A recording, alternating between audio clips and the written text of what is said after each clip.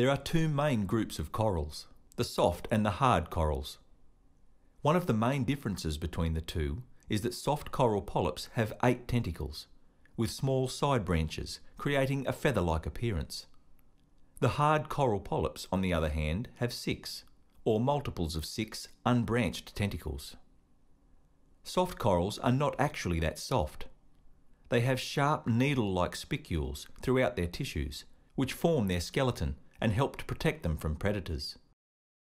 However, these spicules leave little trace in the architecture of the reef, whereas the hard corals are a different story. Hard coral polyps secrete a cup of calcium carbonate or limestone. These numerous little cups are the building blocks of the reef. The vast majority of hard corals live in colonies.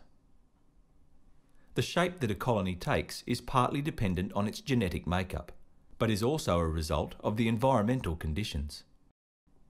Coral colonies adapt their shapes to wave energy, light intensity, water turbidity, and other factors in order to maximise their chances of success.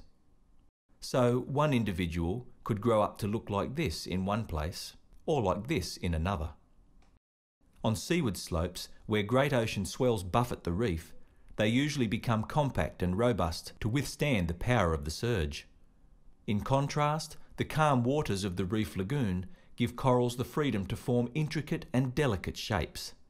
There are some hard coral species that live alone. This mushroom coral is a solitary, free-living coral, consisting of just one polyp living inside its limestone cup.